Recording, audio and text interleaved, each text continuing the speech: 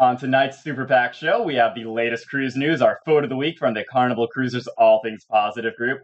Cruise director Chris the Flying Scotsman is down to the downs of the ship, bringing you another segment in the life of a cruise director. Lucas is also here talking about to the crew on board Life Below Decks. Shelly will be covering the top 10 questions asked in CCPPF for newbie cruisers. I'll be talking about the science behind volcanic islands, and we have none other than John Heald joining us live all the way from his bedroom in England, where it's 1 a.m., to talk about his career in Carnival and answer your questions live. We also will have John pick our winner in the Carnival Swag giveaway. So get ready for an amazing show because you're watching Cruise Week TV Live.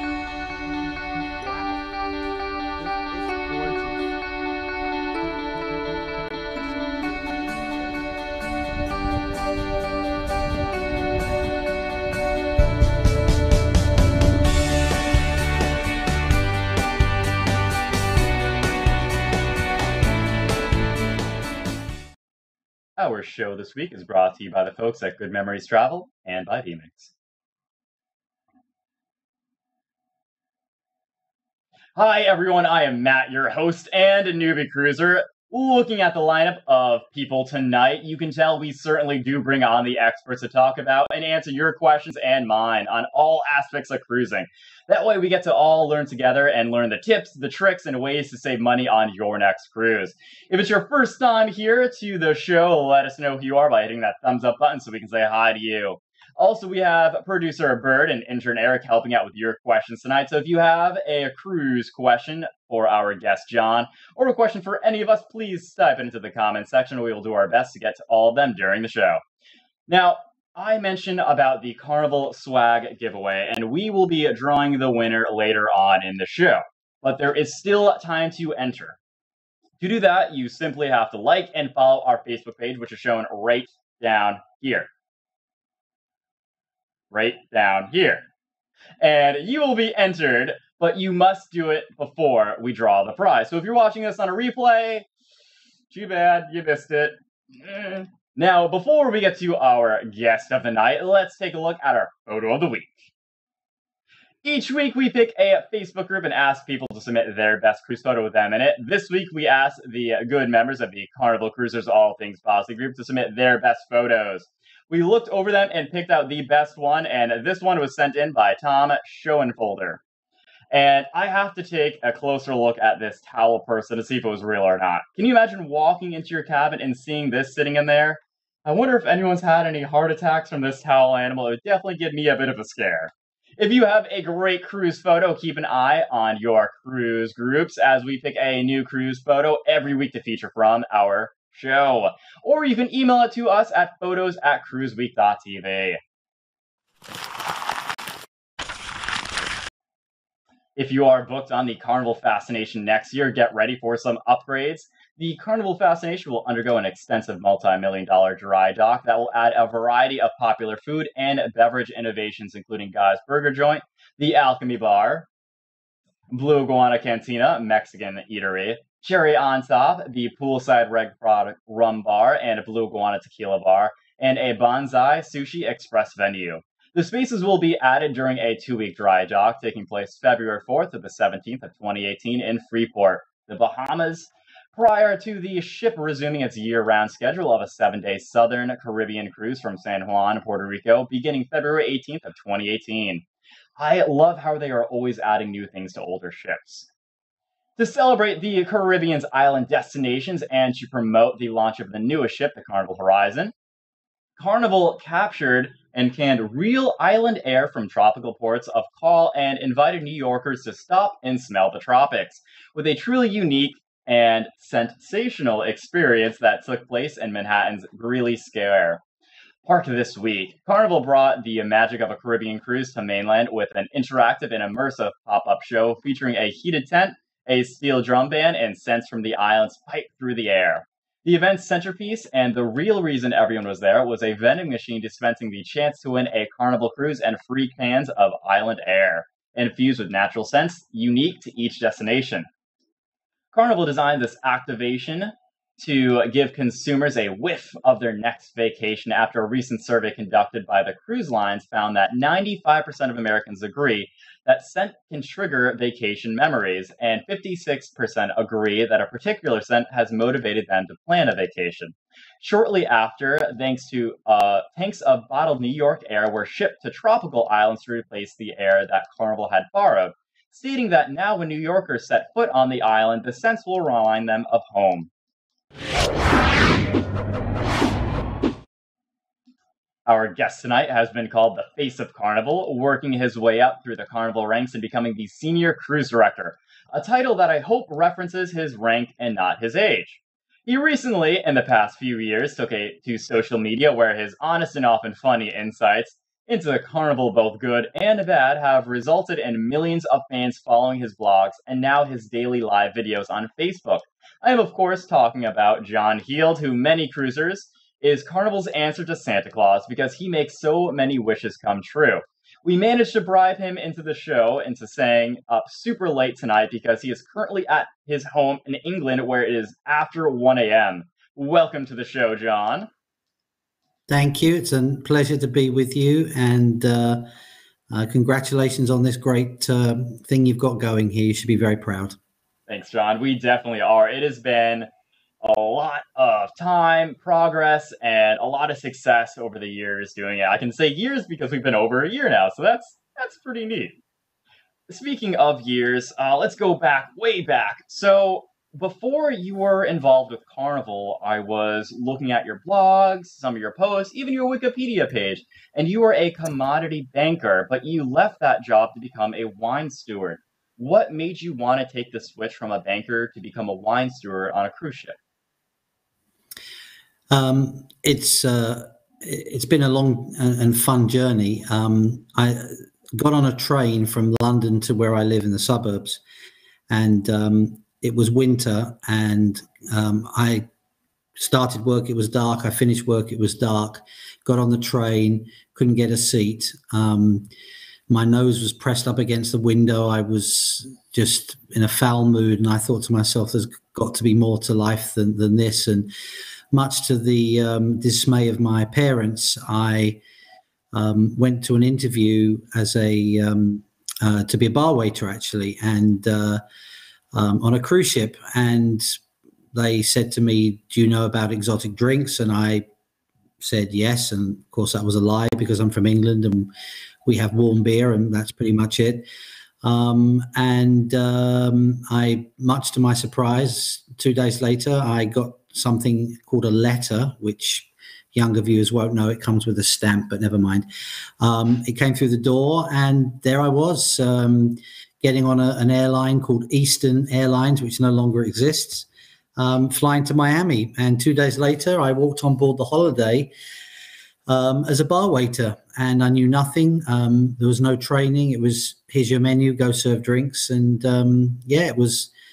I knew it was awful because I was a terrible bar waiter. On on the second day, a lady asked me for sex on the beach, and I thought, well, this is a good job. I've only been here two days, and uh, sorry, family show, family values, um, and uh, I I you know here I am, thirty years later, working for this great cruise line, and um, I think it was just one of those things in the back of my mind. I, I really believed that I was supposed to do something else. And I consider myself very lucky, very fortunate, and very blessed.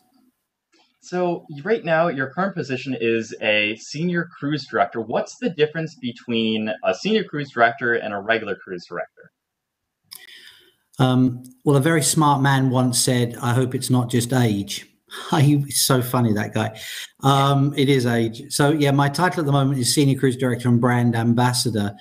Um, Senior Cruise Director was just a, a title that uh, uh, the Beards gave me in Miami, which um, is, amongst other things, um, whereas I'm not really cruise directing anymore, I am I am hopefully giving some advice and help and uh, to the younger cruise directors. We have a brilliant group of cruise directors at the moment. We really do and um, I try and give them advice. And I, you know, when I sail, I do some shows, and um, uh, between my time spent on board and the rest of it on on social media, on on Facebook, and, and writing the blog is um, is really what I spend most of my time doing. But but senior was just, I think, an acknowledgement the fact that they couldn't get rid of me, and here I am still.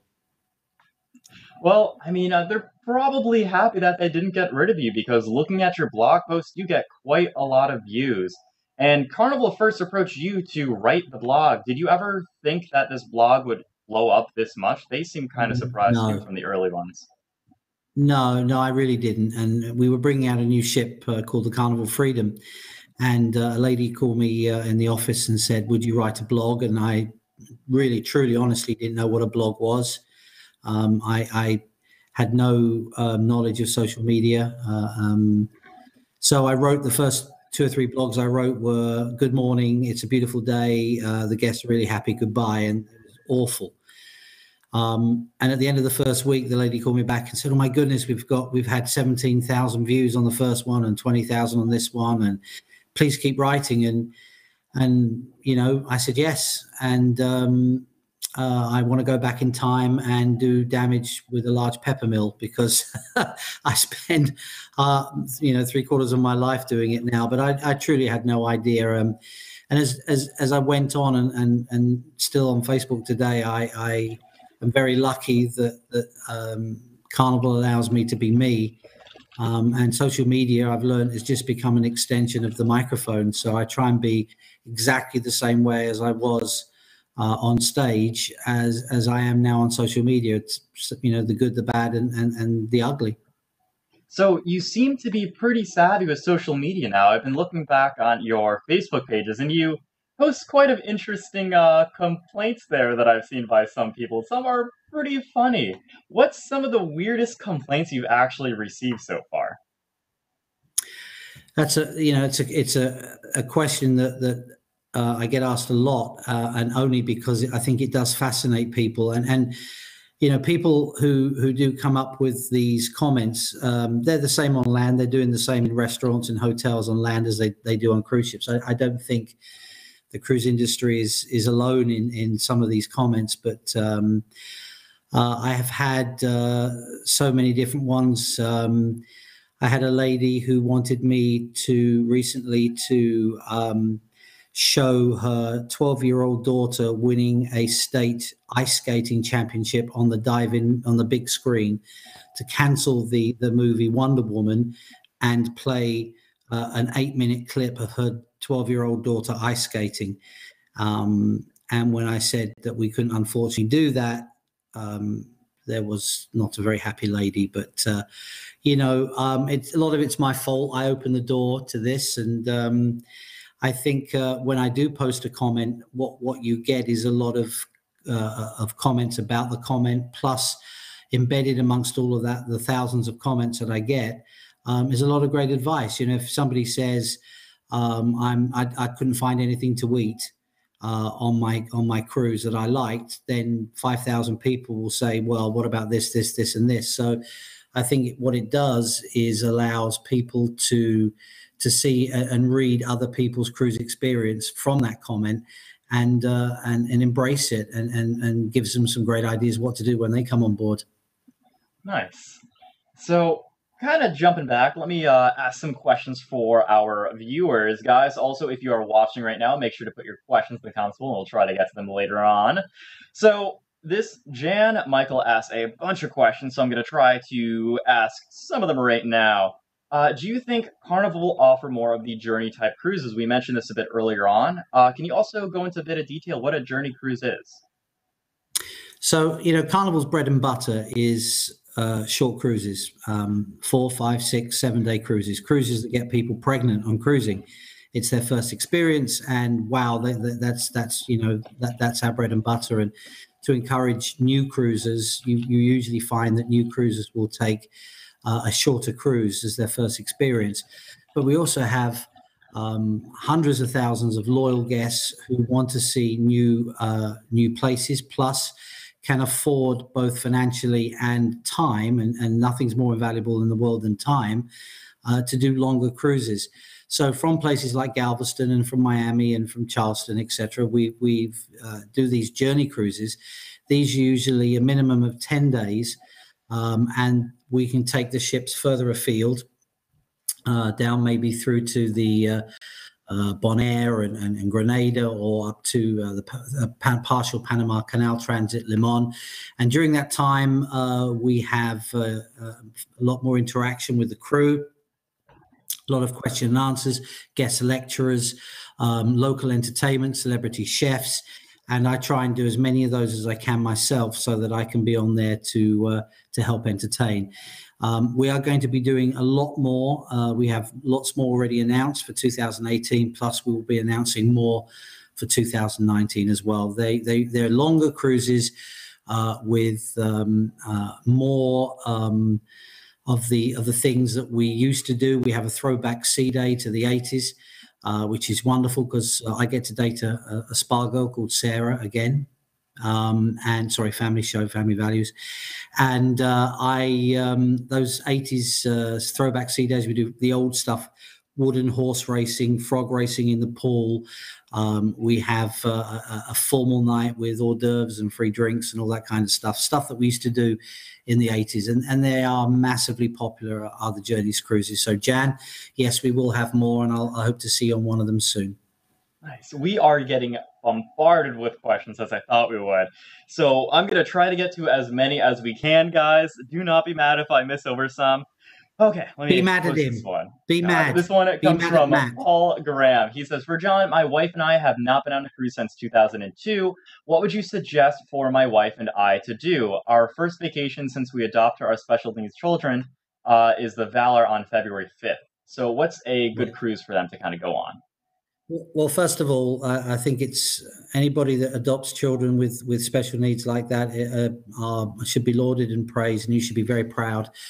Um, uh, the Valor is a great ship. Um, don't be frightened to uh, have the children uh, taken care of uh, some of the time at, at, Camp Ocean. We have brilliant staff there who are well trained in dealing with with children with disabilities and special needs.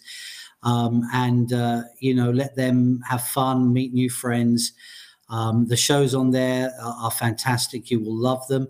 And uh, drop me a line on my Facebook page uh, the day before with your cabin number as well, so that I can uh, let the ship know.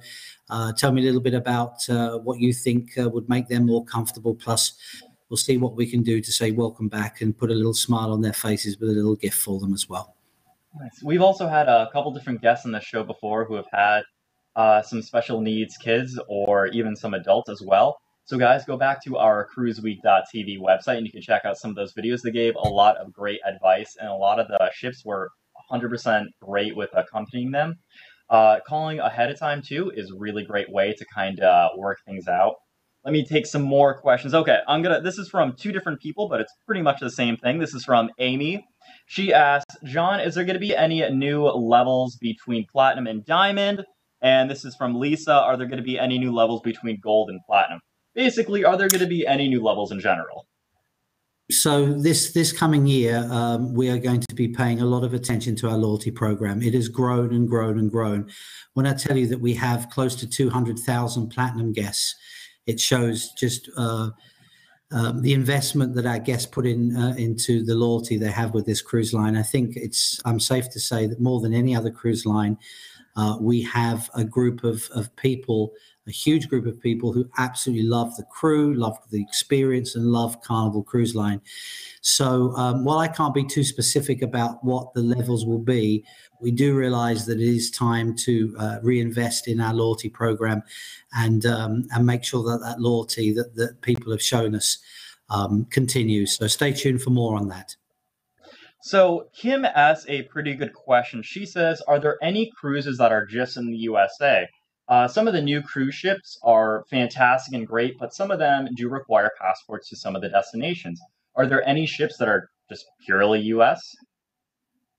No, unfortunately, um, there is a, a rather antiquated um, U.S. law called the Jones Act, which prevents any uh, ships sailing uh, with passengers or guests, as we call them, from a United States port only going to U.S. ports. We have to go to a foreign port.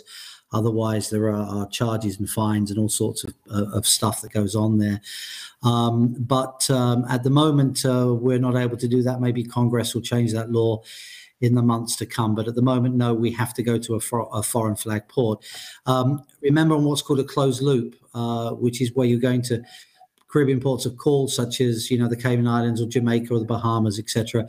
You don't actually need a passport. Uh, you can uh, embark the ship with uh, photo identification, driver's license, etc., and uh, uh, an original or uh, proper copy of your birth certificate. Nice.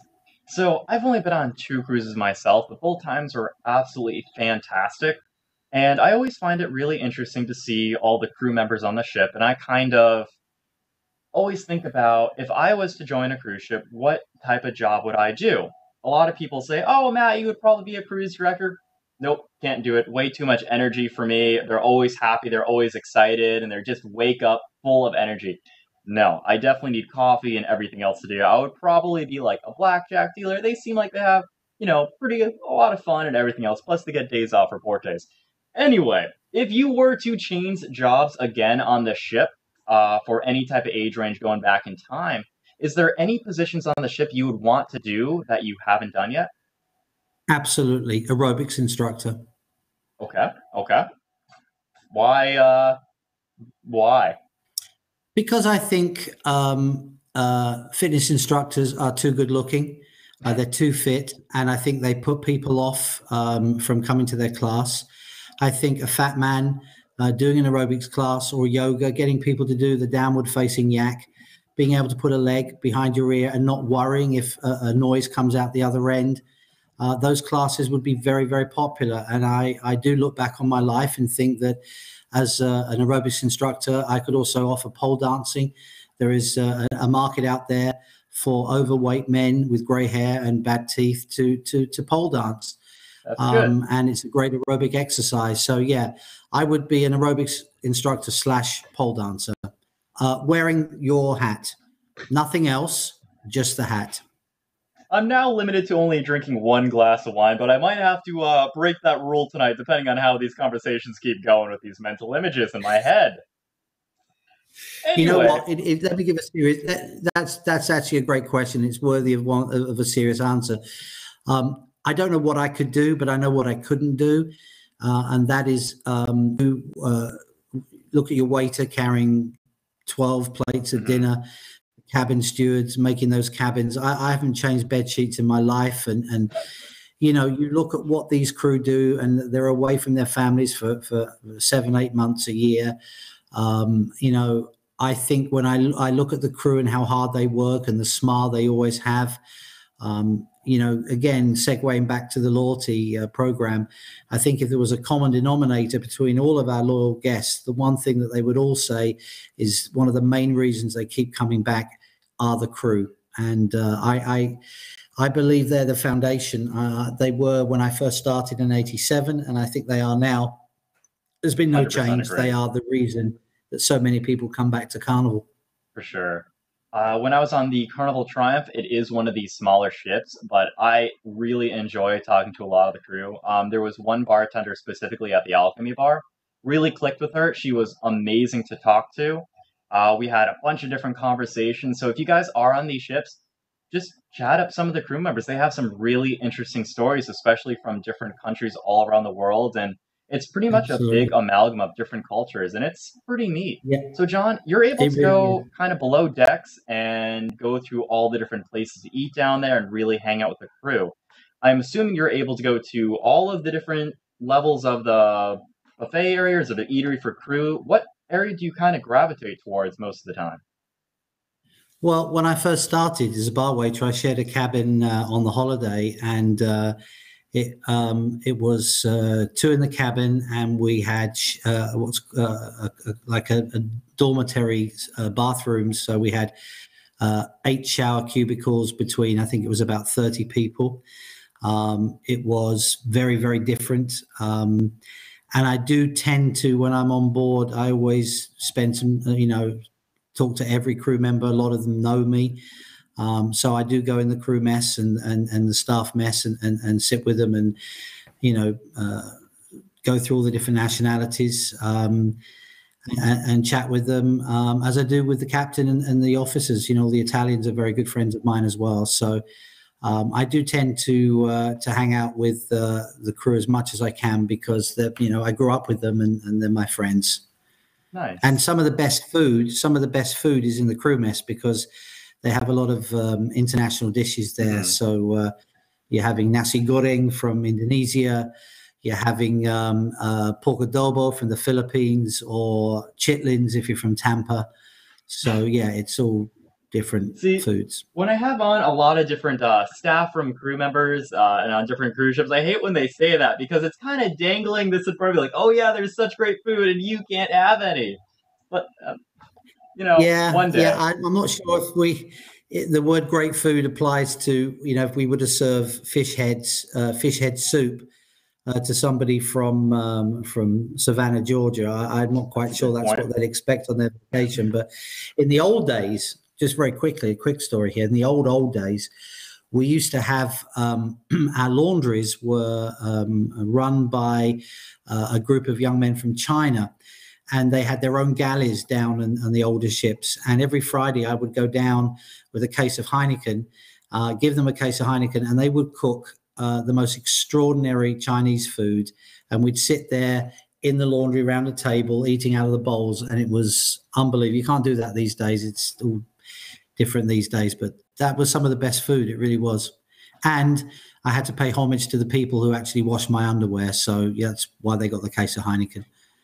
Okay, we're gonna just completely move on from food related questions because I can just see myself getting more upset about this because I'm a big foodie. I like trying weird foreign foods that I've never had before. Especially the exotic food menu on Carnival is absolutely amazing. I've never had rabbit before. I recently saw it at uh, Publix, a supermarket right across the street. They have rabbit legs, but they're like eighteen dollars for two legs, and I'm just I'm poor, I'm broke, so can't afford rabbit. Anyway, Tanya, don't worry, I have seen your questions. Tanya says, Matt, can you please ask John what his sailing schedule is for 2018? John, please tell Tanya what your schedule is for 2018. So I've got um, uh, two cruises on the Carnival Magic uh, in January and into February. The, the, February 27th is the first one, then February 3rd, which is my um, ele- uh, 11th bloggers cruise, which we're calling the FFS cruise. So I have 650 people uh, coming to cruise with me for that one. Then I'll be on the first uh, cruise on the Horizon, our new ship uh, on the transatlantic. First cruise out of New York on her and then some journey cruises on a Carnival Breeze. Uh, Journeys cruise, uh, two Journeys cruises on the Breeze, and I believe one on the Ecstasy. Plus, I'm going to throw some more cruises in there as well um, as I go through the year. Kathleen asks, "How far in advance do you know which cruise you'll be on?" Um, I try and book. Uh, I try and decide what I'm going to be on as as far in advance as possible because I, you know, I hope people will book and and come and cruise with me. So um, I try and be in advance as I can, but then you know I have a lot of people in the office who suddenly will say, "John, we need you to do this," or "John, can you do that?" or "John, we we don't want you at all." So I I do get pulled from pillar to post a little bit, uh, but um, I will be posting my my schedule on the uh, on my Facebook page in the days ahead. This is a pretty good question asked by Gary Keys. He says, Are there any excursions uh, for a guest that cannot get out of a wheelchair? We're traveling with my mom and cannot find any excursions that would be able to accommodate her. So, um, you know, that's a it's a it's a challenge because in some of the the ports of call in the Caribbean, the ADA laws that we all live by and, and appreciate and understand um, based in the US don't sometimes apply in some of these Caribbean islands. They don't always have the hardware uh, to transport guests around uh, who may have walking challenges, wheelchairs, and motor scooters. And also, a lot of the things that you know are highlighted in, in these ports, you know, beach tours, snorkeling, etc., aren't really um, uh, suitable for that. Uh, we actually are working very closely now with more of the ports of call uh, to try and get more of the island tours with wheel, wheelchair uh, wheelchair accessible buses. Uh, what was the name of the person who asked that question? I'm sorry, uh, who was that? That was Gary Keys. Let me post Gary, that up there. Um, if you if you write to me uh, one week before you cruise on on my Facebook page. Um, I will put you in personal contact with the shore excursion manager on whichever ship you're going on, and he or she will sit with you on embarkation day and go through your options so that we make sure we've got the right thing for you to do with your family. So, John, can you talk a little bit more about the Bloggers Cruise? Chris Confe at says, uh, "Did you ever think that the Bloggers Cruise would be such a big success?" Um, I didn't. That was from Chad, whose um, whose whose father uh, Ed or Big Ed, as we uh, we all called him. Um, he was uh, a gentleman who uh, sadly just recently passed away, a character full of life and full of energy. And he was one of the only people who have been on every single one of them. It started um, 11 years ago uh, with just 100 people, and it was just a, a, little thing. I said, Listen, I'm going to be on this ship. If anybody wants to cruise with me, we'll call it a bloggers cruise. People who read my blog. And um, and we we had 100 people come on that one and uh, here we are 11 years uh, later still doing them uh, could have sold over a thousand again but i wanted to stop at 650 because the idea is that they spend a lot of one-on-one time with me i do uh, shows for just for them a lot of private activities events we give them t-shirts and gifts and it's just a way for me to say thank you for uh, for people who uh, who stick with me on social media, and uh, we have a lot of fun. We really do. We have a lot of new cruisers, a lot of experienced cruisers. It's extremely friendly and uh, a little bit silly. So, John, I was uh, looking through some of your old blog posts as I do, oh, and trying to get some more information. I think you know what's coming. Uh... I think the I think an empty glass is coming, isn't it?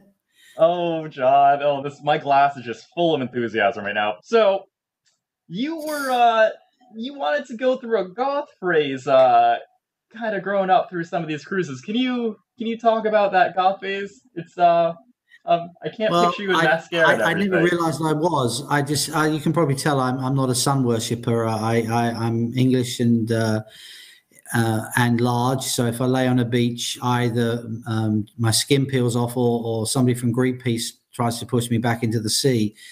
So um, I I did at one point in my life have a long uh, black leather coat um, and a, a, black t-shirt.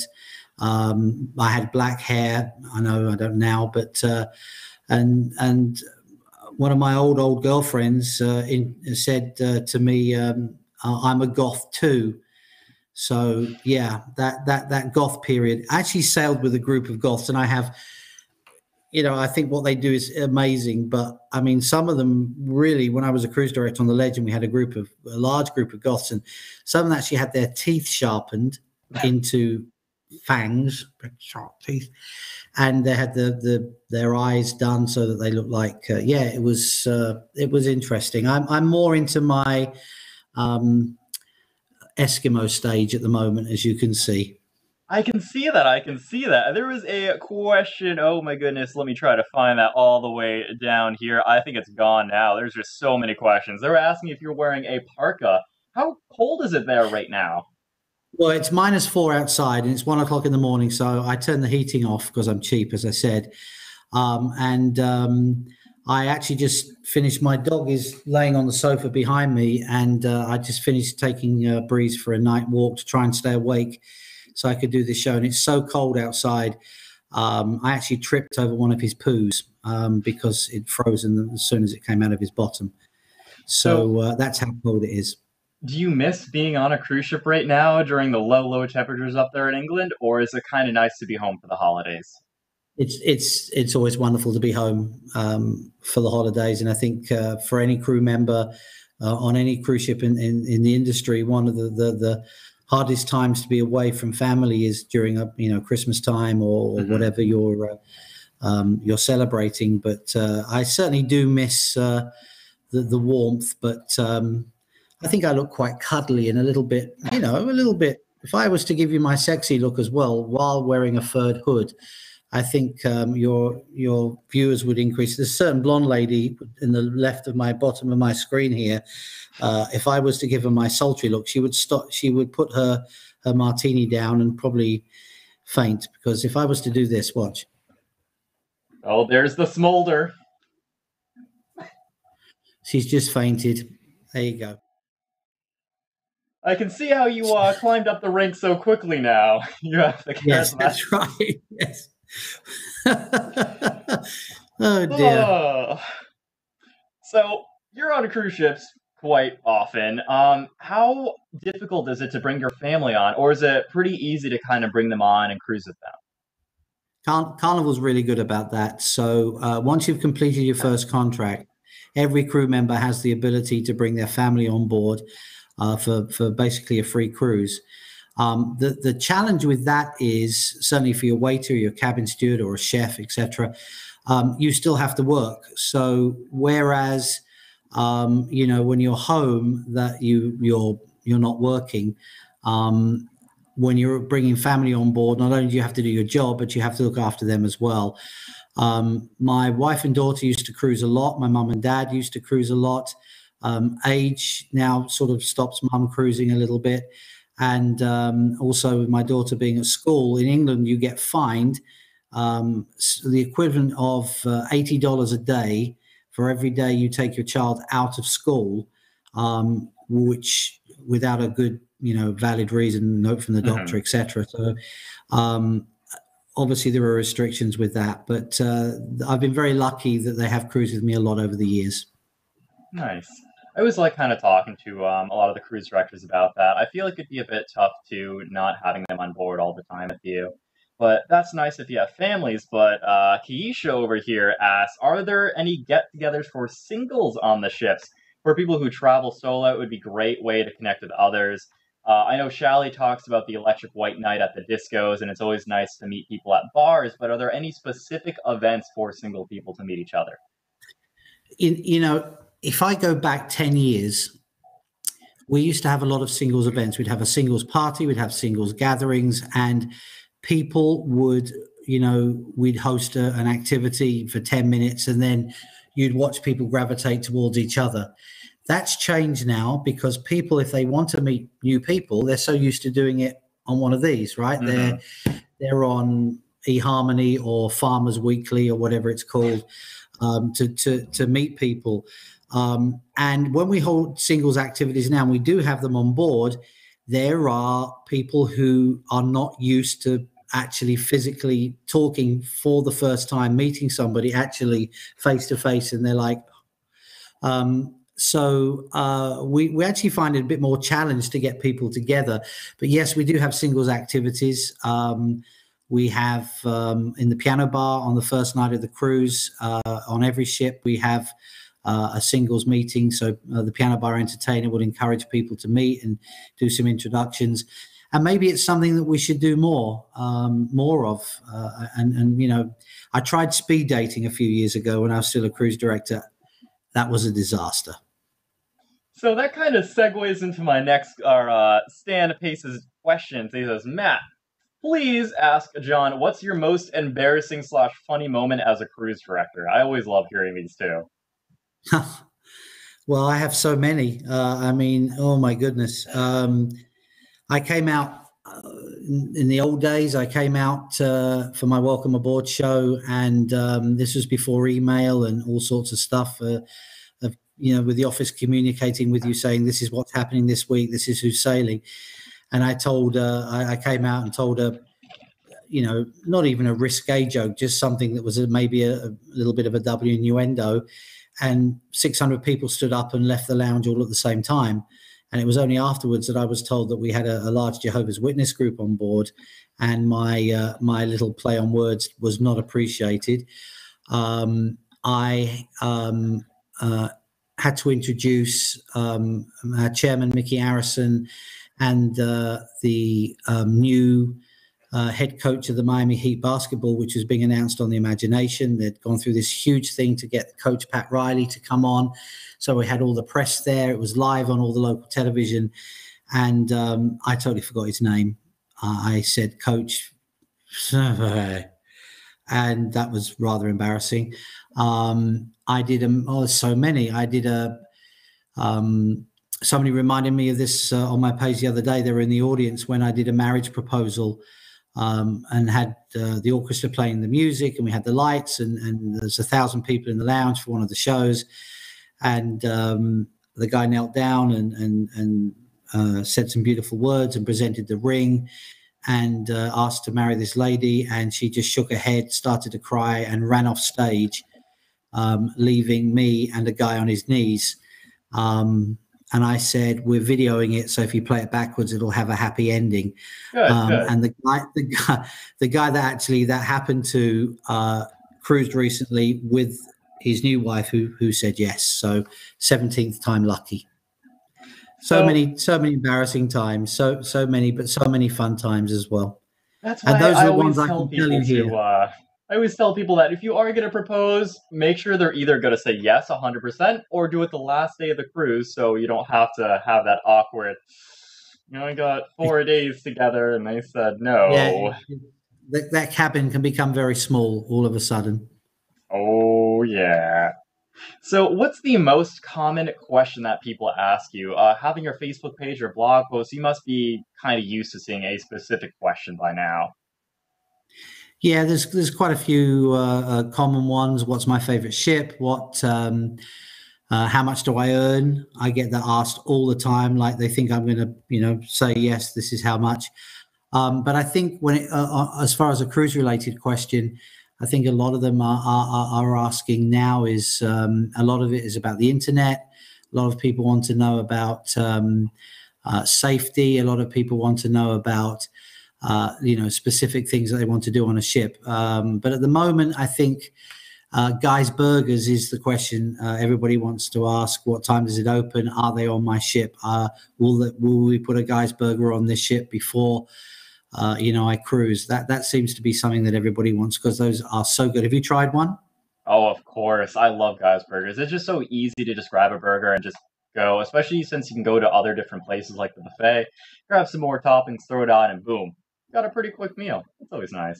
But my Yeah. favorite thing on the mm-hmm. ships, easily, hands down, the Alchemy Bar. It's just so great. And they have so many options and you customize your martinis. What is it you like about prices. what is it you like about the Alchemy Bar? Is it is it the menu or is it also the people that work there? Because um, I don't drink, but um, I know that when I, I I go there and I know what people tell me Mhm. that often it's not just the menu and the different uh, cocktails that these alchemists can make, but it's the actual personalities behind the bar. So I originally started going there. I'm a scientist myself, a microbiologist. I love science, so the decor of it just lured me there. Plus, I love martinis; are one of my favorite types of drinks to have. So looking at the menu was really great, especially the menus that they light up too. That's pretty awesome. So that just immediately drew me in. Um, the bartenders are always amazing and have such great enthusiasm and energy. Plus, the way that they make the drinks is very theatrical as well. So you can kind of have a little show too. And we've gotten a bunch of great videos of them making it. And they really do add a spark and more life to the drink than some of the other places. The other drinks, don't get me wrong, are great. But the Alchemy Bar, they just kind of go above and beyond what a drink should be. And it's Yeah. great. Yeah, the, the the cucumber sunrise is very popular. Mhm. Um, there's a uh, there's one with blackberries, which everybody seems to really love. Um, there's the something called the deal deal closer, and then there is the new one uh, on the menu, which is the tequila and prune juice, which is the uh, they call that the Mexican Roadrunner. That's a, that's a really good one as well. That's good. That's good. I'll make sure to order some for my uh some of my friends. Be like, hey, like they just got this new drink on here, and I got a drink card, so uh take a sip of this. You know, you can even Yeah, try try one. the It's on Mexican. Roadrunner, a bit of prune juice. No, they're, they're great guys they're, and girls. They really are. How's your glass, by the way? Is, is is your glass half full or half empty? It's always full of laughter and fun and excitement, John. Even though there's only a little bit left. I, somebody's going to tell me at the end of the show that you have drunk more interviewing me than any other guest you've had on your show. That is not true. I've refilled a couple drinks before. Usually during some interviews, you know, true. they'll see my glass is full, will slowly deplete, and then it just kind of randomly fills up, and it's just great. Anyway, so as you can see, it's pretty cold here, and uh, yeah, it's always nice to have speed service. Our producer is You've got uh, a very person good who at hands you your everything. wine. Wow, you you really are. You've made it in life. You've got somebody who hands you in your wine. That's very impressive. You know, sometimes it's just hard to wake up and be me in the morning, and then I come to cruise week, and it's just so much easier. It's like I'm on a ship right now. It's great. It's great. Well, I can't say what I'm Anyway, say. Move on quickly. So, moving on to the next question. So, I've been on the ships uh, quite a bit, and I've seen a lot of the menus for some of the main dining rooms. And a lot of them are very similar and quite repetitive from ship to ship. do you ever get sick and tired of eating uh, meals in the buffets? And is that kind of why you gravitate towards the crew menus, or do you just really like eating one specific meal every time you're on? Um, well, we, you know, we're changing a lot of things. We just put new deli menu on uh, some of our ships. Uh, we've got a new steakhouse menu, a new cucina menu, new things uh, on the menus in the dining rooms as well. Um, uh, I think. Um, do I get? No, I, I don't get sick, but it is nice uh, when you can just maybe eat something one night that's a little off menu. Um, there are times when you know I don't want to go to the dining room and, and have a huge meal, so you know I, I will go to Lido and have uh, some soup and and you know maybe a, a, something from the deli or something. But um, I do I, I put masses. I would do a show. I would miss dinner. I would be out of um, of you know walking around the ship, do do a couple of shows, come back to the cabin, order a couple of BLTs from room service, and go straight to bed. Which is why um, I went uh, from uh, somebody who looks like you without the hat. Obviously, I wouldn't say the hat was part of me, but I was as skinny as you. Um, and uh, then I put masses of weight on, and that's you know. So now I'm I'm on a on a really strict diet. In fact, uh, you're very skinny, aren't you? You are very skinny. I'm trying. I'm trying. I work a lot at yeah, work, lifting grain, like beer, eggs, all that fun stuff. So yeah, we would... talked about um, some of the single activities and meetups, but a lot of people have been asking about solo cabins. There are a bunch of questions, guys, so I cannot post them all. But uh, Stephen is the last one that posted about it. Uh, tell me a bit more about solo cabins. Are there any works in the nature of getting more solo cabins, or is it still kind of joint cabins that you have to pay for? Yeah, at the moment um, we don't have any solo cabins, and no no plans to do so. And I know that's not what uh, uh, some of our solo cruisers want to hear. Um, you know, we are a family cruise line, and uh, at the moment we we don't have a, a, really big um, input uh, for our uh, our solo guests. I do think that if somebody's paying for a solo cabin, we should consider giving them double points towards their loyalty basis. If they're paying for two people, I think maybe we can consider doing that in the future. But at the moment, no plans uh, for uh, for the solo cabins. Mm. So, John, we have a little prize to give away on tonight's show. And uh, this was pretty kind of Carnival HQ to be sending us some Christmas items that we're going to be giving away right now. So we asked everyone to like and follow our Facebook page to be entered. And John, we need you to pick a number between 1 and 2074. And we will look up that person, who that number was, to like and follow us. And we got some amazing cruise specs. So, John, pick a number 1 to 2074. I'm going to go with 777. Okay. 777. Let's get that slot number ticking. And we have. Wow. Look at that graphic. Bethany Cantrell.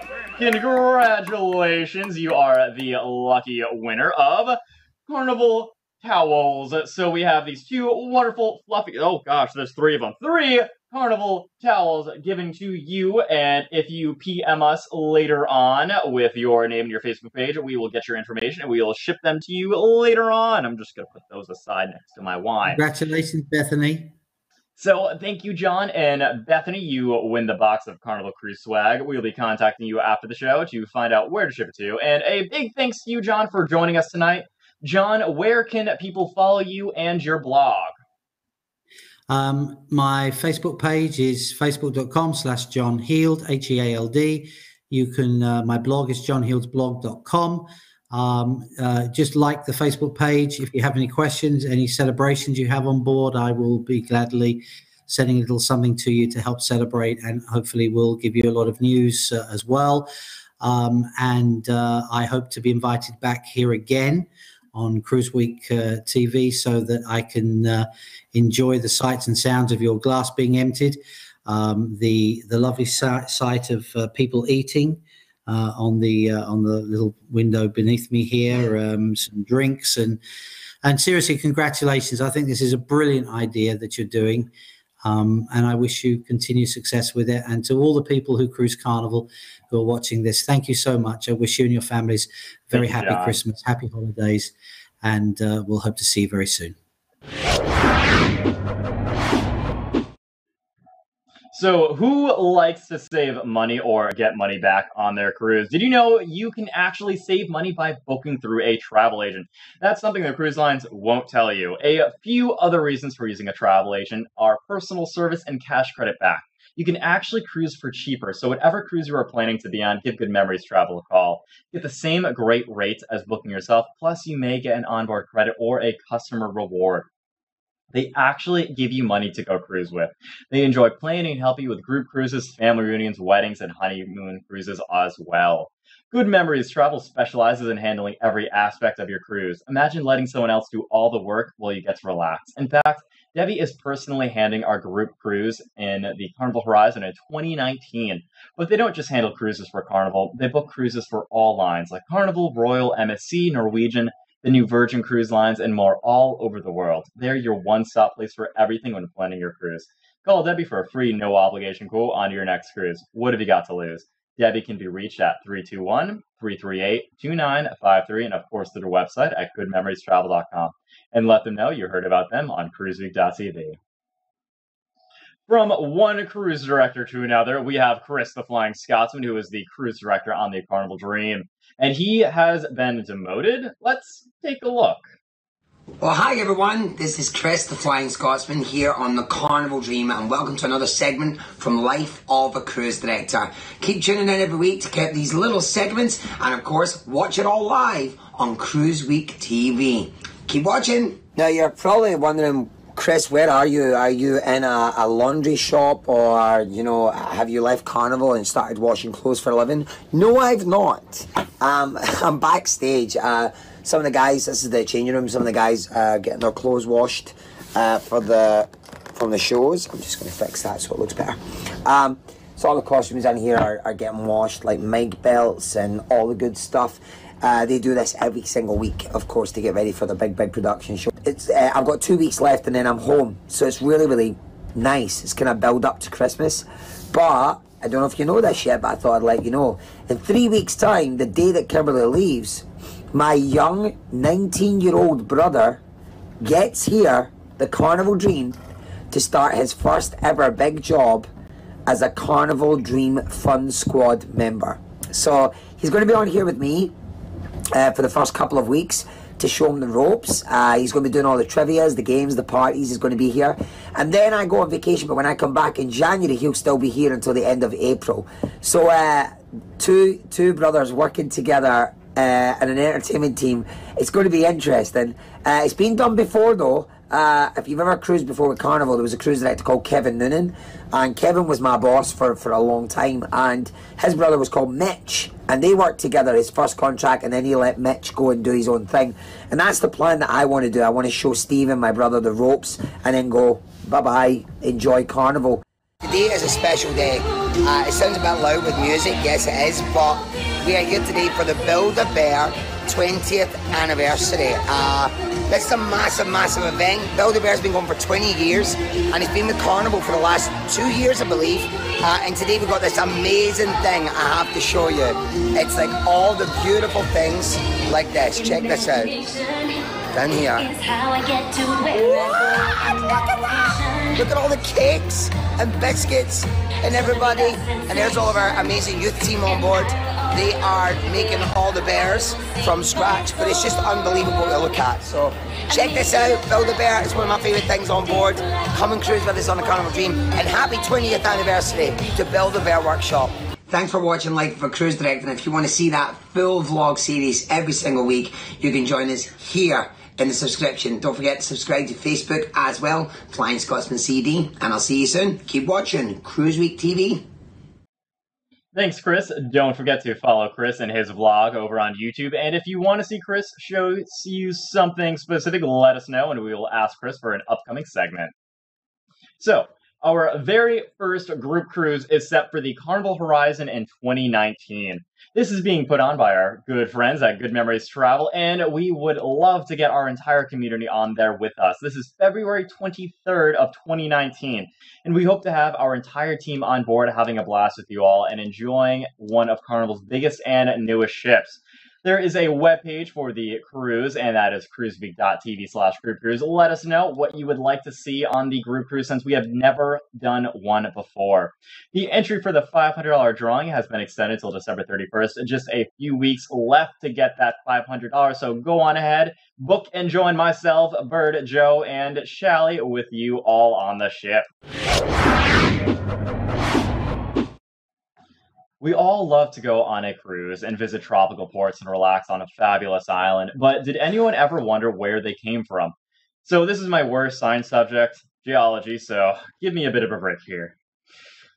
Okay, the Earth's crust is made up of slabs of material called plates, which move relative to one each other.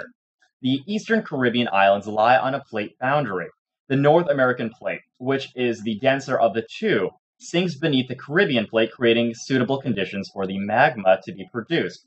The magma then rises to the surface of the Earth where it may erupt to form a volcano.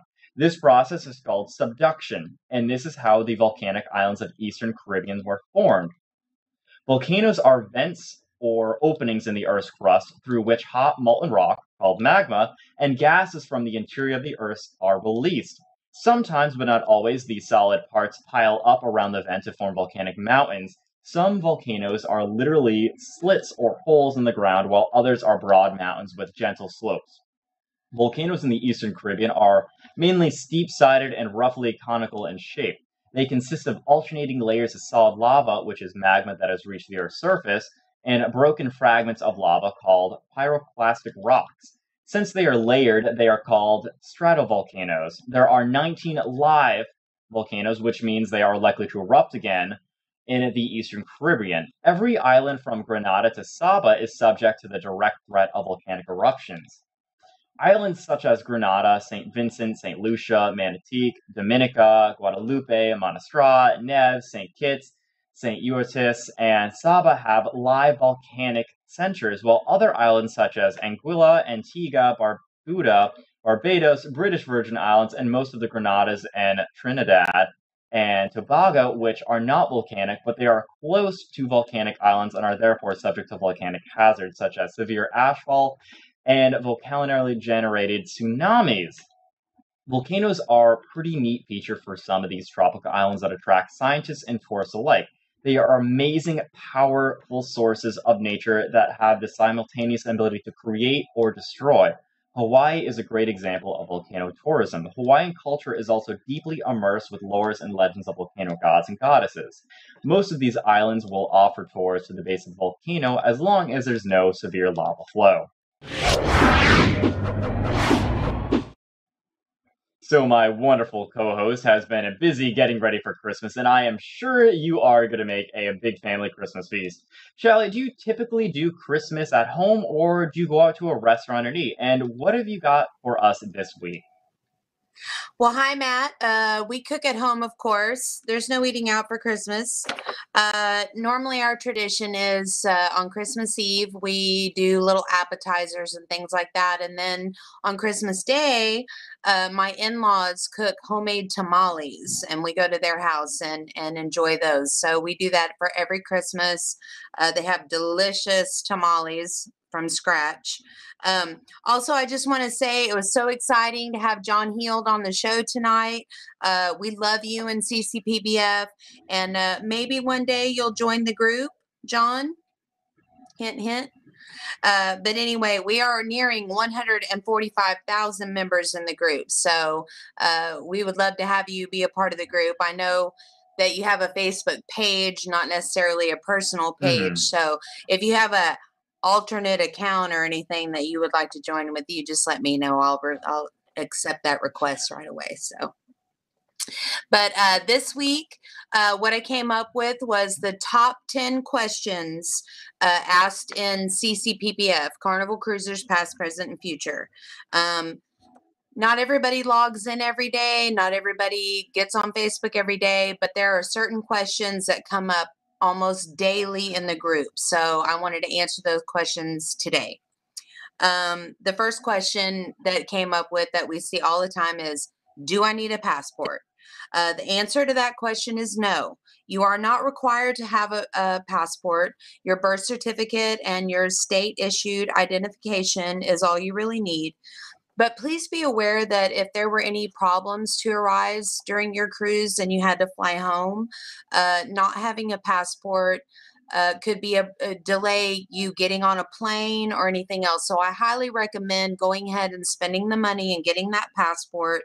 Um, the initial cost is a little high, but it's worth it. It doesn't expire for 10 years.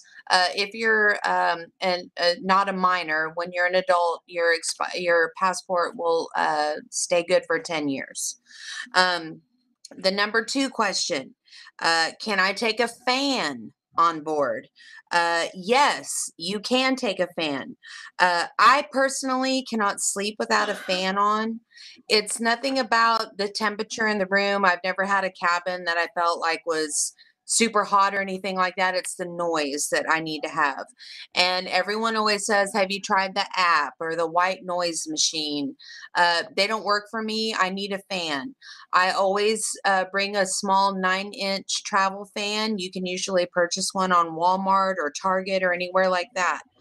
The problem seems to be the port, not the ship it, uh, a fan is an allowed item that you can have on your on the cruise but every time someone asks this question several people will comment how they have their fan confiscated and it for some reason it has to do with the port not the ship. Carnival says you can bring a fan.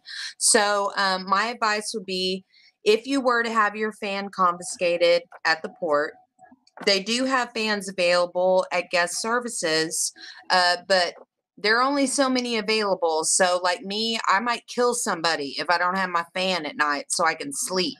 You know, I'm not going to go sleepless for seven days. So, if you have to have a fan and your fan was taken from you from the port security, uh, I would just run down to guest services first thing, say, hey, mm-hmm. I need a mm-hmm. fan. Uh, but again, they only have so many available. Exactly. But as far as Carn- Carnival is concerned, they are allowed.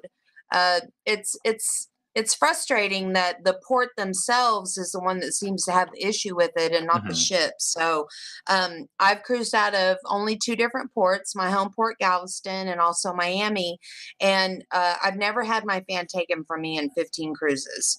Uh, the one port that seems to come up a lot is Port Canaveral. Uh, for some reason, they have uh, they hating on the fans. I don't know why, but um, anyway, it it, it what are you doing there, Matt? just uh, demonstrating is, is how that going to be uh, on the blooper reel? I, I was just demonstrating how people reel? would try to take your fan from you, and they're just like struggling. No, I need to yeah, there might be a problem. We might have a problem if somebody try to take my fan.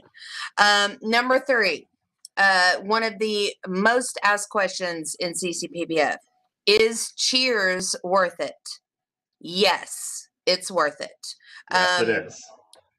The thing is, okay, if you're not a big drinker, if you only have a cocktail here and there, maybe a glass of wine here or there, it, it probably wouldn't be. If you drink six or more adult beverages during your during a day, yeah, during during your cruise, during a day on your cruise, uh, it's worth it. At, at, at, six to seven cocktails, you've broken even. So if you think that you're going to drink, and I mean, people are always like, well, maybe you need to go to Alcoholics Anonymous if you drink that many drinks. I mean, think about it for a second.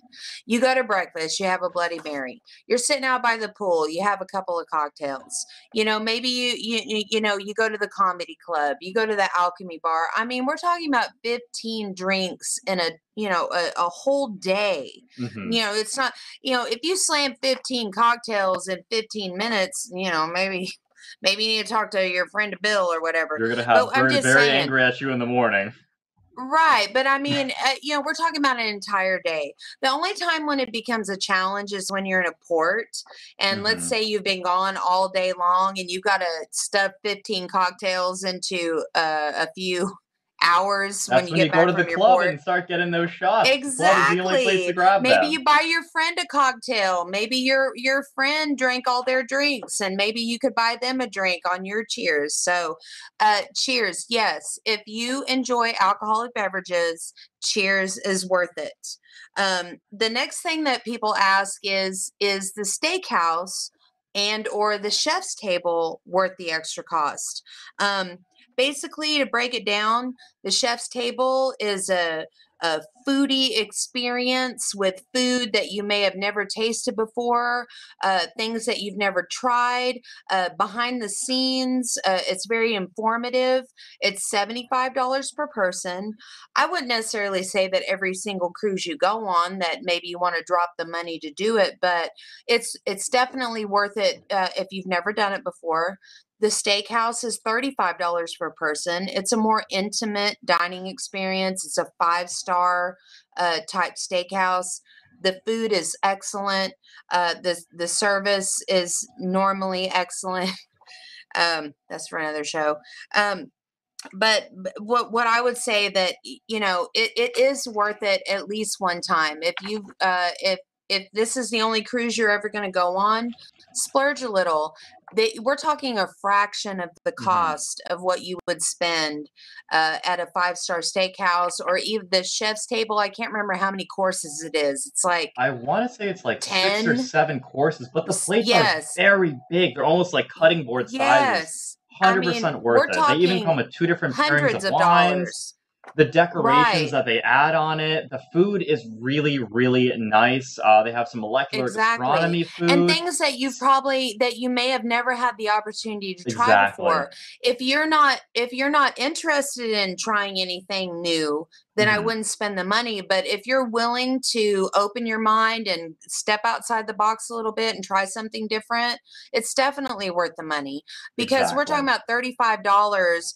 i you know this kind of meal at a steakhouse i would tip $35 you know and we're Mhm. talking about the whole meal is $35 so uh, to me yes if you're willing to step worth it. outside the box totally worth it um, presentation, the food, the quality. Just make sure you guys try everything because if you don't, one, you're wasting the money that you paid for it, and two, right you always wonder, what if I like it?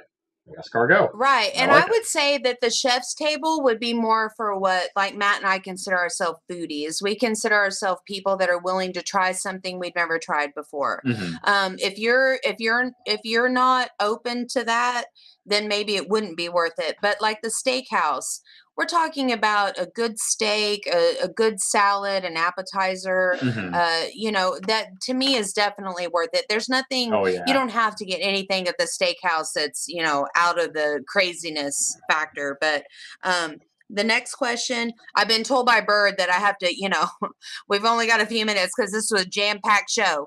So um the next question um i see this asked a lot uh, are there aa and lgbt meetings on board the ship? And the answer to that is yes to both. Um, in your fun times paper you'll see uh, normally on a daily basis you will see a time and a location for the friends of bill.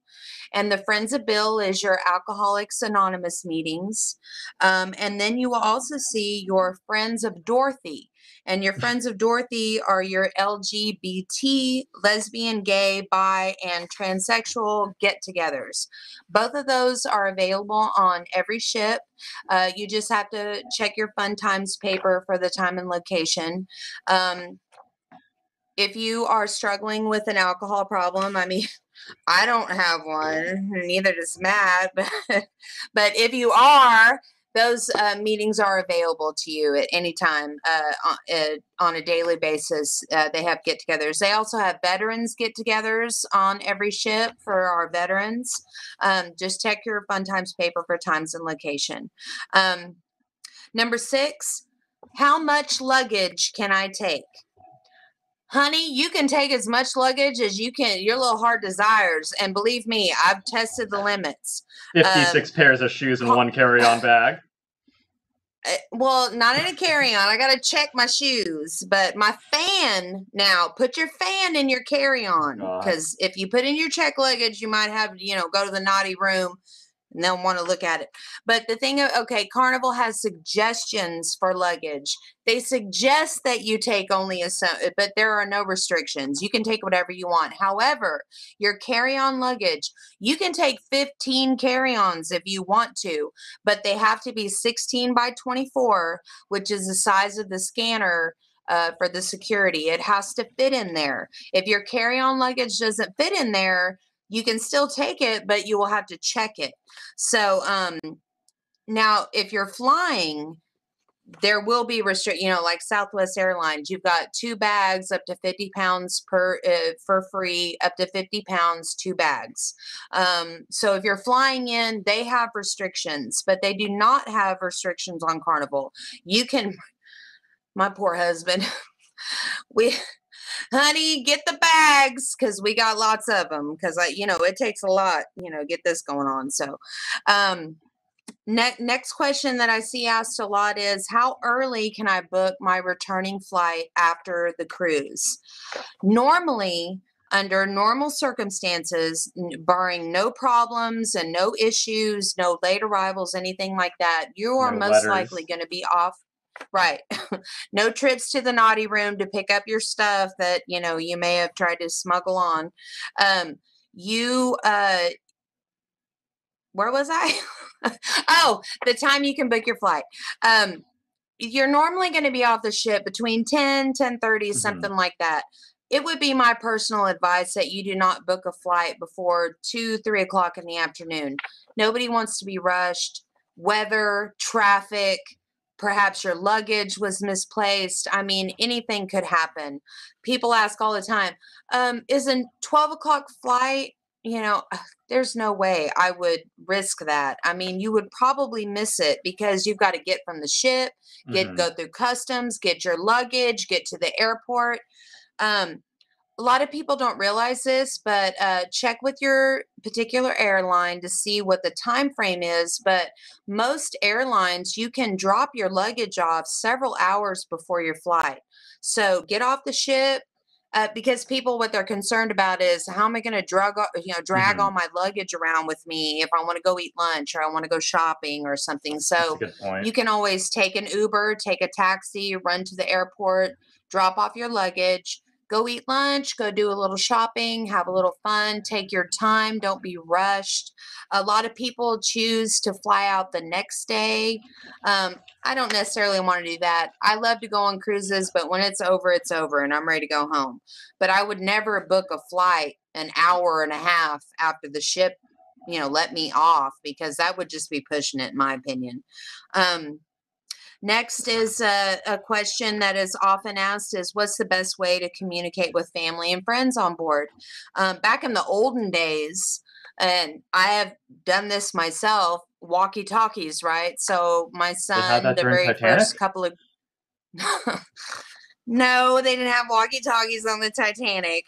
Um, but uh, like my son, he was, I think he was nine the first cruise that we went on. We bought the walkie talkies they're great, except if other people are on the same channel as you, you get to listen to their little conversations. You know, where the hell are you? you said you were going to be on the Lido. I'm like, uh, wrong person. And then there's always the fact that, you know, let's say you're at the Lido deck at the pool. You know, your walkie talkies in your beach bag you're not going to hear your kid mm-hmm. like, "Mom, where are you? Mom, mom." That's so when you just turn it off. Now, you're like, "Mom's busy. I'm trying to nap. You go have fun, no, club kids." Uh, right, I, you're right, but you still want to keep in touch with your kid, exactly. and we would have the little dry erase board and be like, "Okay, me and Dad are at the bar. You know, come and find us." But um, basically now with with us that they have a social media package you can purchase. It's mm. five dollars mm. a day. You turn your phone on airplane mode. You can use the Facebook Messenger to chat with their friends or family that's on board with you. I mean, almost everybody has a smartphone at this point. You put it on airplane mode, you use that. The Carnival Hub is a great resource. Mm-hmm. I don't know, I haven't used that specifically for texting yet, but I know it's a, a little bit of an extra charge for uh, the texting when back and forth. Bird, myself, Hub. and I usually go on cruises. We always use the Carnival Hub just because it's a one time flat rate, I want to say. Um, it's uh, directly charged to your cabin. Uh, it's pretty great, not your cabin. I believe it's charged to your card. I can't remember. It's been a while since I've been on a cruise. For Now, is the Carnival Hub more or less than it is to get the social media? Like, uh, I know that they, like if you get the social media, it's Mhm. less. It's, okay, it's so you can just text a back and forth. flat for the whole entire cruise, which is nice because you could Oh just wow! completely text them. But they also have to have the Carnival Hub app. But I mean, the majority of the time, Right. Bird has the big packages for the internet because we're doing the live streams and everything else. Uh, Yeah, I having remember. the Carnival Hub app for myself and anyone else that's going on a cruise with us, it's a lot easier just because it's five bucks, and we can just text each other. Okay, I'm here, I'm there. Plus, it has your Carnival The fun social times, you media app is five dollars. Right, the social media app is five dollars a day. But what Mhm. you're saying is, uh, you were able to text on the Carnival Hub app for just like a flat $5 for the entire cruise. Exactly. Yeah. So it's a bit So worth either either one of those will either one of Mhm. those is a great way. Um, a lot of people are like, should I get a walkie-talkie? I'm like, don't do it. Just you know, d- just splurge on the either the Range Carnival great on a Hub or just do the social media. Yeah, Mhm. totally. Um, next one. This is a question that I see constantly. It always causes big drama, and everybody gets all crazy and everything. Should I tip in addition to the prepaid gratuities? Yes. Do not be cheap. Okay. Just don't. Okay. We're talking about people that this crew, they're working the longest. You wouldn't even be able to survive the same amount of hours that these people work and the requests that are made and the accommodations that they have to make. You have a good cabin steward. You had a great waiter in the dining room. Uh, you had a favorite bartender in the casino. Just give them give them some extra tip. Um, don't be cheap. I mean, in my opinion, just don't. Just give them some extra. These people work so hard for their money, so hard. It, you know what? Twenty dollars to us is so much more to them. And I always, in the, the the minute I get my cabin, I find my cabin steward. Twenty dollars. Here you go. Thank you. Make sure my ice bucket's full we are easy to deal with you know I, I, we don't need constant uh, babysitting from you but these people work so hard don't be cheap just give them some extra money if you're going to go on a cruise just put that in part of your budget Exactly. hands down do it especially Just if you go it. to a specific bartender. I feel like the bartending staff, especially because they have to deal with so much. Some of your servers in the main dining room, they're absolutely amazing. Your cabin stewards, everyone really does deserve that. I mean, you know, if they go above and beyond what you've expected, they definitely deserve a tip. Sometimes um, people can fall a bit short. I haven't personally had that experience. Bird's been on far more cruises than I have. I don't think he's ever complained about anything either. Shallot, you've been on many, many cruises as well. Have you actually ever had a bad service where you just like, oh, I don't, I don't think they deserve a tip? I will honestly tell you that when I see complaints like that in, in CCPPF, I I have never had a cabin steward that did not do anything that I asked them to do. Uh, I, I'm not. I mean, I know I come across like this high maintenance gal, right? Like I need all this extra attention.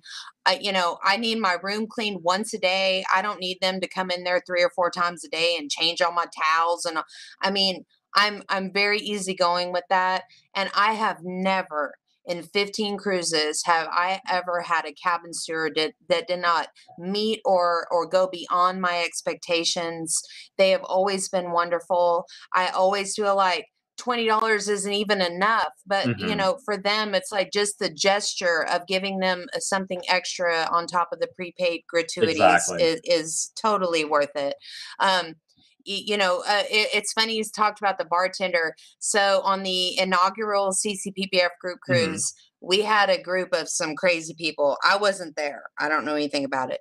But Mhm, these crazy mhm. people, they were having fun at, at the RedFrog Pub. They had this bartender.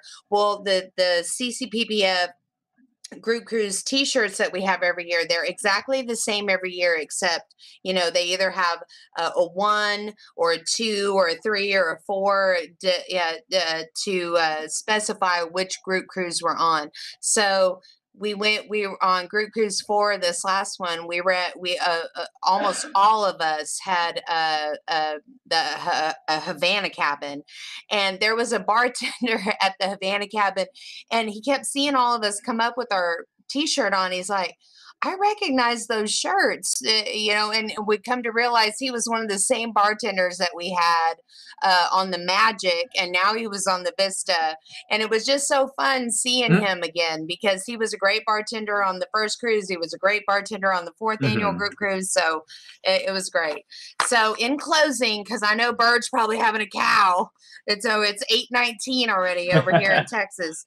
So, um the one uh oh, something else i see a lot is what is the ship's coin?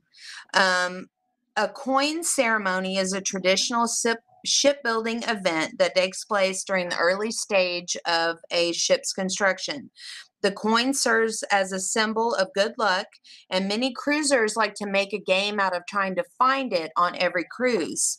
Um, we'll have pictures in the group. They'll be like, "I found the coin! I found the coin!" So every ship uh, make a make a habit out of trying to find the little coin that that it's has been welded to the ship. Sometimes too, like right. we've had a couple videos a, trying to find it, and it's it's hard to find sometimes. It's right. Not it's not always and it's not area. always in the same place. It's not always like in the same exact location. So people and love that. They like, oh, I found it's not even a coin. On the Carnival Triumph, we were looking around for the coin on the ship, and we're like, well, there's a dollar on here, and we're like, "Are you oh, sure you a... just couldn't find it, Matt?" I'm positive. Just... I asked every one of the crew members, and they weren't really sure. Except when we talked to the hotel director, uh, she was telling us about the story how the coin on the ship actually was stolen, and they replaced it with a dollar instead. And we're like, "What? Somebody came on the ship with a crowbar?" I, they I came on with a crowbar, like thick plexiglass. So we're just wondering, like, wow, interesting, but it's a cool That's story, awful. and you can check that out on one of our videos on cruiseweek.tv for that but it's definitely a fun People challenge. People post pictures of that all the time. They mm-hmm. make a scavenger hunt out of it, trying to, sh- uh, to trying to find the coin. So, in closing, I just want to say from all of us at Cruise Week TV and all of us at CCPPF, we just want to give a heartfelt happy holidays to everyone. Enjoy your friends and family, uh, and if you're lucky enough to be on a cruise for the holidays, I just want to say Bob Voyage. Okay, we love everybody. We had a great time. I hope everybody has a wonderful holiday. John, I was so glad to have you on the show tonight, and uh, it was a great show we're running a little behind. Bird's probably he's good. He's good. Well, thank you, Shelly. You can follow Shelly as she is the founder of the very popular Facebook group Carnival Cruisers Past, Present, and Future, and they have over 145,000 members and growing. And you can help add to that membership too. A great group for posting questions, photos, meetings, and fellow cruisers and getting answers to all of your cruise questions. So our crews and all of the wonderful abilities we have to bring guests in remotely would not be possible at the level we do without vMix. vMix is the live production software that powers our live show and many other high-end productions. From church services to football games, more and more live productions run on vMix. What our producer Bird really liked when he was trying to improve our show was that I give you a full 60 day trial of everything. That way you can test it out risk free before you buy for two full months. Then they have systems starting for just $350 up to $1,500, depending on your production requirements. If you're going to do any sort of serious live streaming, you need vMix. Try it free at vmix.com today. Lucas is ready to start his Christmas vacation at home and a break from the comedy clubs on the ships. However, before he left, he did check out the Christmas decorations and how they are all put together on the cruise ships.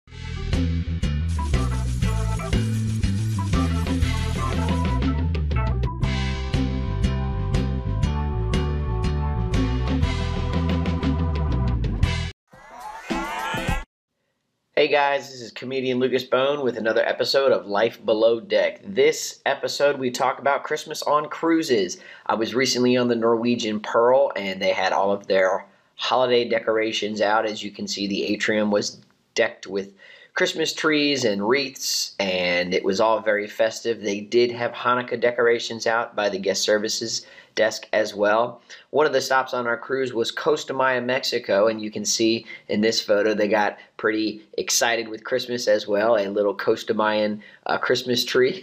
we also had some unique decorations in Costa Maya. Uh, you'll get a close up of this tree in a second. You'll see uh, they had, took beer cans and made ornaments. I thought it was hysterical uh, that they did that as well.